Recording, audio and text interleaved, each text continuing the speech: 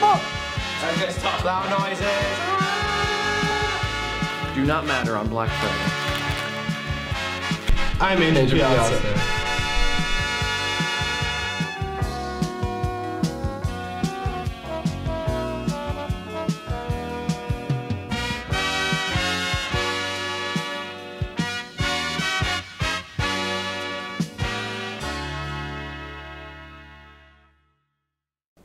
What's up, guys? This week we're going to be going into rotations, so let's see what all of you guys are going to be doing. All right, Group A. You guys are going to be going to Mass, hosted by St. Peter. People who are attending Mass are St. Rose of Lima, St. Michael the Archangel, St. Cecilia, and St. John the Baptist. In the gym, it's going to be St. Mary Magdalene, St. Augustine, St. Patrick, St. Thomas Aquinas, and St. Juan Diego in order to play some dodgeball. And Group C, you guys are doing a solidarity act in your house room, and that'll be St. Catherine of Drexel, St. Sebastian, St. Anne, St. Joan of Arc, and St. Teresa of Calcutta. So you guys enjoy. Hey guys. Hey, what's I, up, Nate? I was just wondering if you guys wanted to uh, see an interview with Mr. Sweeney, maybe get to know him a little bit better. Sure. sure. All right, let's roll the tape.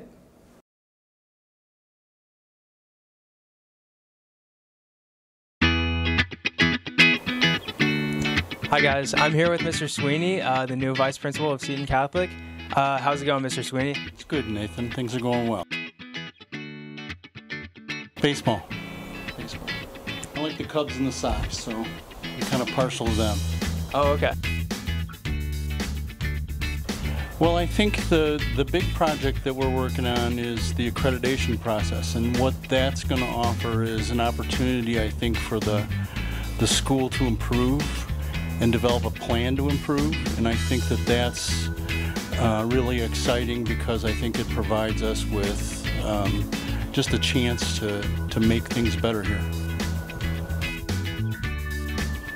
I think probably the commitment of the teachers and uh, the work ethic of the students. I think kids come here to work hard and get smart. And, um, I think the, the teachers here are very dedicated to helping you do that.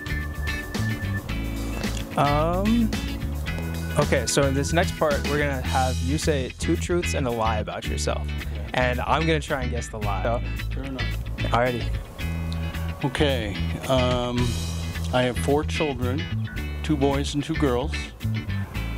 Um, I try to hide every day from Mr. Cerna.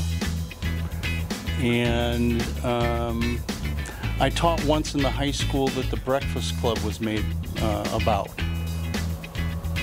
Okay. I think the lie is that you try to hide from Mr. Cerna every day. You're right. There's so many good bands, and um, I, I don't want to slight any one, but um, the one that's meant the most to me is a band called Five for Fighting. And they've got a song called 100 Years that I really like. Nice. Um, do you know any good jokes? Did, um, did you hear about how they're um, going to take the essay off the SAT? I, I did not. Oh, They're going to call it the T.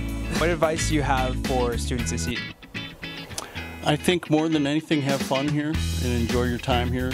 Build relationships with your friends and and really work at, at building those relationships because that's what you're going to remember most. Well, great job, Nate. Yeah, stellar. Hey, thanks, guys. All right, then. Well, I guess I'll just be heading out. Uh, I'm all done here, so uh, see you guys in a little right. bit. See you later, Nate. Well, that's all we got time for you guys today. I'm Anthony. That's Brian, and we'll see you guys next time on House News.